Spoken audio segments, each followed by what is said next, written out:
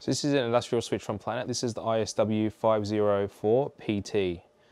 Uh, so this particular switch is capable of going up to 30 watts per port. You've got a budget here of 120 watts.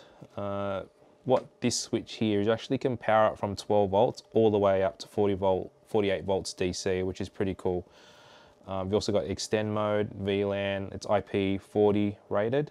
Um, and like all industrial switches is a minus 40 to 75 degree operating temperature.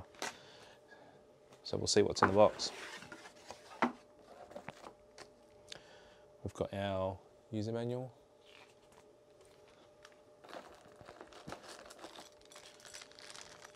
We've got our wall mounting kit with screws and some dust caps.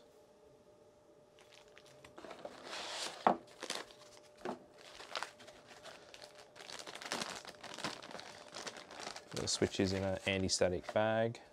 Uh, so if we look here, so we've got our four ports of PoE. We've got a, an uplink port here. Uh, we've got a PoE usage indicator. And we've got a dip switch here, so that's where you can actually either put into extend mode. So if you've got distances slightly past that 100 meter mark, you can flick that switch into extend mode. Um, and also you can segregate each port through the dip switch via VLAN. Um, back of the unit, you've got your DIN rail kit, DIN rail mount, sorry. And on top of that, you've got your inputs for your power supply. So that's the ISW 504 PT.